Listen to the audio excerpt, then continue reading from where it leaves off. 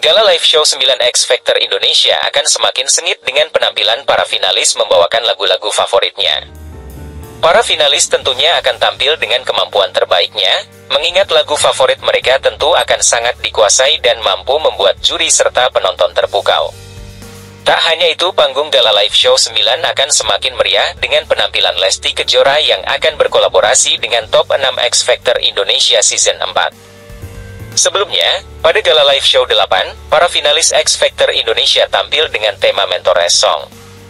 Dalam Gala Live Show 8, Para finalis ditantang untuk menyanyikan lagu hits para mentor.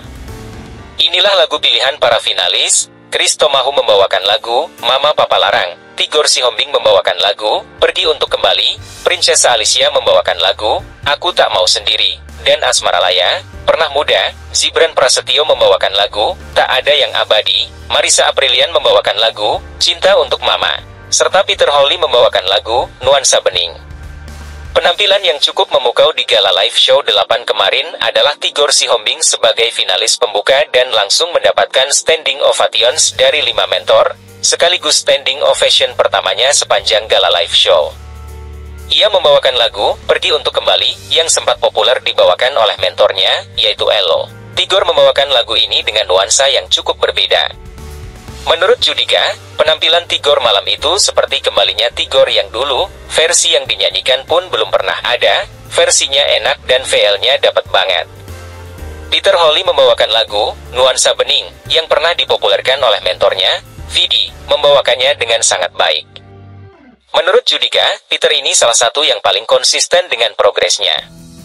Suara dan teknik yang dimiliki oleh Peter bisa menjadi saingan terberat para kontestan lainnya. Penampilan unik lainnya adalah Asmara Laya yang membawakan lagu Pernah Muda yang dipopulerkan oleh mentornya, BCL.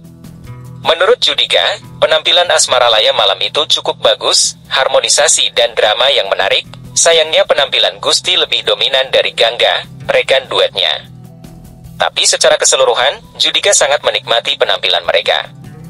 Namun sayangnya, itu menjadi akhir dari penampilan mereka di panggung X Factor Indonesia.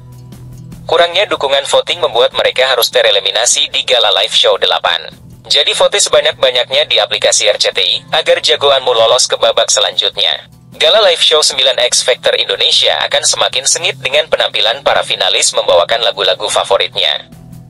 Para finalis tentunya akan tampil dengan kemampuan terbaiknya, mengingat lagu favorit mereka tentu akan sangat dikuasai dan mampu membuat juri serta penonton terpukau.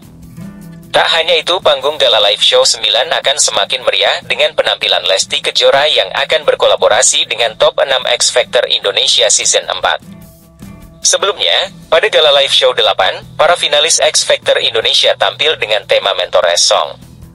Dalam Gala Live Show 8, para finalis ditantang untuk menyanyikan lagu hits para mentor.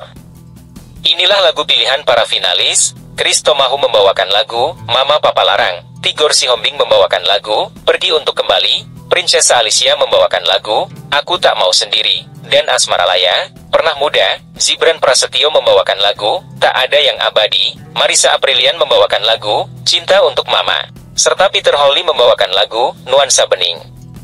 Penampilan yang cukup memukau di Gala Live Show 8 kemarin adalah Tigor Sihombing sebagai finalis pembuka dan langsung mendapatkan standing ovations dari lima mentor, sekaligus standing ovation pertamanya sepanjang gala live show. Ia membawakan lagu Pergi Untuk Kembali yang sempat populer dibawakan oleh mentornya, yaitu Elo.